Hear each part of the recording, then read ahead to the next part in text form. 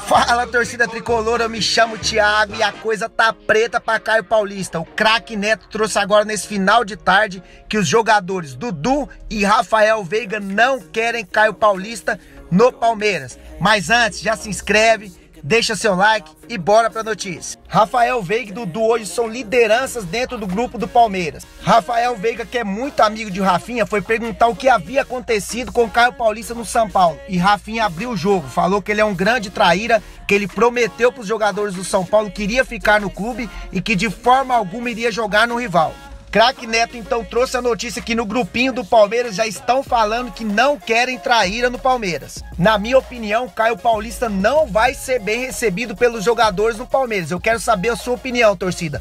O Caio Paulista vai se ferrar indo jogar no Palmeiras? Os jogadores vão aceitar ele bem lá, sim ou não? Deixe sua opinião nos comentários. Não esquece de se inscrever no canal, deixar o seu like no vídeo e vamos São Paulo!